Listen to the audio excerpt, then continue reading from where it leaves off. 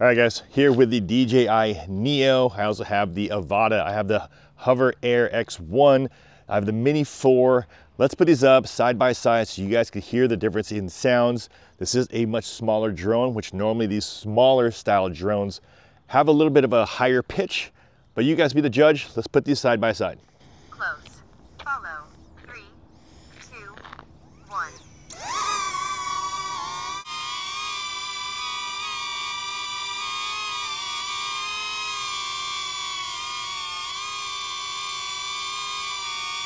All right, being about a foot away from the drone, coming in about 83 dB decibels.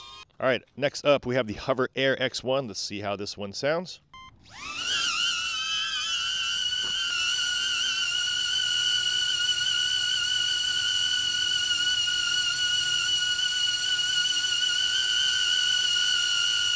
All right, that was the Hover X1 and the decibel reading around 87. It fluctuated between 86, 87, 88, sometimes spike up to 89. But for the most part, I'd probably say about 87 dB, 87 decibels.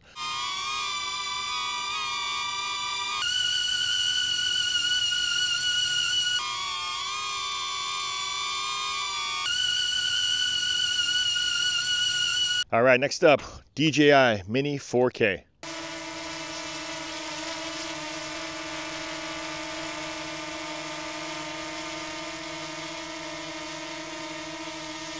All right, DJI Mini 4K, I'd say about 77 decibels. Uh, again, kind of fluctuates in between 76, 77, 78.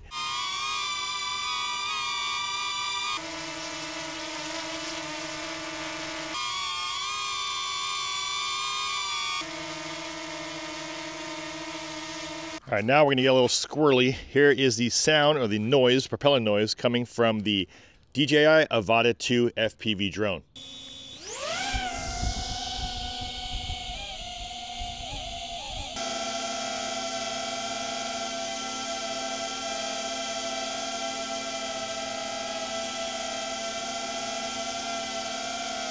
All right, the Avata 2, of course, a little bit louder, bigger drone, comes in about 85 decibels at a foot away, 85 dB from the Avata 2.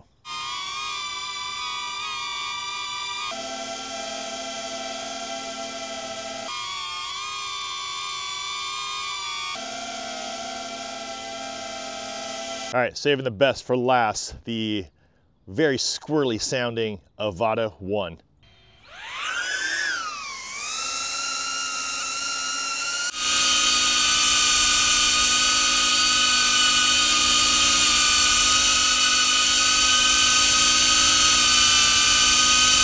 All right, the Avata one. This one though has always been just the screamer, about 95 decibels a foot away from the actual drone.